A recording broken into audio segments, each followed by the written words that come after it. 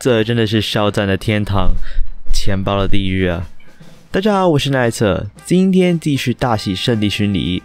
圣地巡礼它终究是一种旅游啊，旅游会干什么？吃、买跟玩。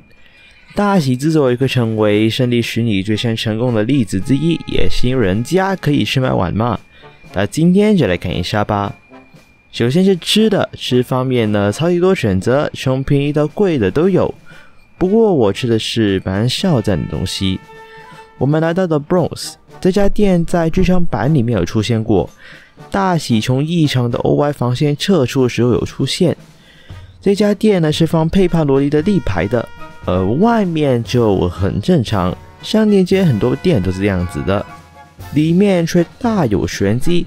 小小的空间塞满了少战的东西。老板娘说不能露营。墙上的联络牌以及吧台也不能拍，我们很守规矩，所以就拍了这些而已。店里还有个客人跟老板娘聊天，应该是熟客。我会一点日语，所以我也加入寒暄一下。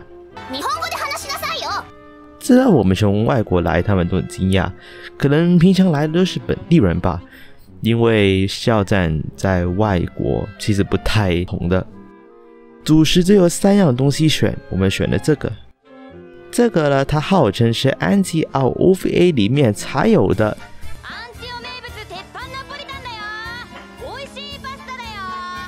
那到底是不是呢？其实出奇的还原呢。佩巴当初说要豪迈的放这橄榄油，他就真的放很多油。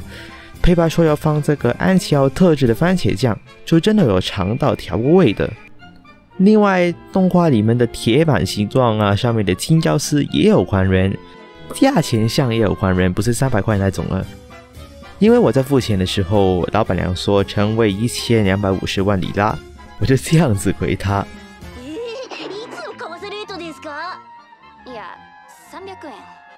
这大概是我整段旅程中印象最深刻的。不过，如果你之后又要去扫街吃小食的话，那就不建议叫，因为分量多到爆炸。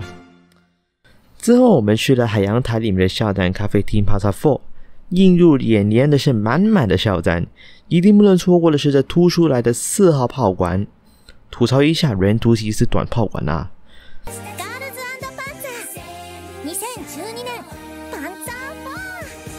服务员都是穿着大喜校服的，结合学校风的桌椅，很像女子高中主题的女仆咖啡厅啊。这一家是香威果的店，不建立牌，可是有香威果专属的甜点。其实我是贪这个的，即便是骗我钱也不介意。不过惊喜很多，这个糖浆是温的，下了融化的超级快，就难以避免的洒了。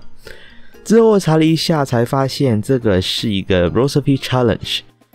加了糖浆还不洒的就算赢，我很明显又失败了，下次再战。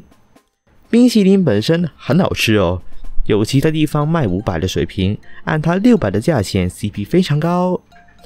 这不是买商店街很多东西买不过平民巷，没有像在周边的话，跟你家楼下的店没有区别的。唯一特别的是酒店，卖酒的店。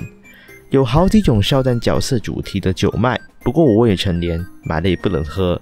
有人买过吗？什么味道啊？对肖战粉来说，All I Galapan Gallery 是一定要来的，在 c si station 的二楼，既是卖肖战的周边的店，也是一个展览。有个大佬使用模型手办建构出各个名场面，夜谷对战 M3D，美穗在 TV 酒话时候站在车顶侦查。商链街全部的胸口正品，我这次拿到了这几个而已。全部跟肖战有关的店，光美穗就有四间。战车立牌也有，不过大部分都很远，所以就没有去。还有有些地方我是看不到的。这画风非常的倒贴，应该是他画的。之后卖的东西，原本呢是想买衣服的，不过四千很贵，而且衣服不难买啊，其实。我是个很讲究实用的人的，即便是冲动买个一千六百五十烟的扣子，我也要想它它的用途。如果再放在真便当的铁盒上做便若是如何了？我之后实测了一下，是成功的，便当都画化成功。之后我的收获是这样子：没有肖战大叔的经济能力，想买也不行啊，因为我看到有一个大佬，他好像花了快十多万吧，十多万是我六天行程的花的钱呢。玩方面呢，水族馆是首选，尤其如果你走完日历或者是长乐海滨公园的话，你可以直接坐巴士到那里。可是时间关系没有去，我去的是大喜海洋塔，它是大喜最高的建筑物，高六十米，一楼可以买伴手礼送给家人，有自身特产红薯、蜜瓜、纳豆等相关的东西，当然还有校站乱入啊，盖印章的也在这里。二楼是那家校站咖啡厅，三楼则是瞭望台。瞭望台要在外面的贩卖机买票，不过当初没有看到，所以我是看完以后出完就补票的。Just for info，如果你只去咖啡厅，我是不用买票。不过既然都来了，不如上一下吧。这里没有前几天去的晴空塔高，不过一望无际的海景可以弥补。日落应该很漂亮，但太阳在里边。有个东西注意到我。这个是三井渡轮公司的游轮，可以从大喜坐到北海道的江小部。没记错的话，要坐十八个小时，而且要我价要一万多日元。这船在剧场版 ED 的时候出现过，结合对战卡尔的康平湖大桥。大喜保卫战应该是在北海道进行的，其中船上有一些画面是真实存在的，大概是最高成本的圣地巡礼了。如果有机会，我也想做一下。因为既可以理圣地巡礼啊，又可以玩两大地区。果然去完日本之后，会再想去一遍。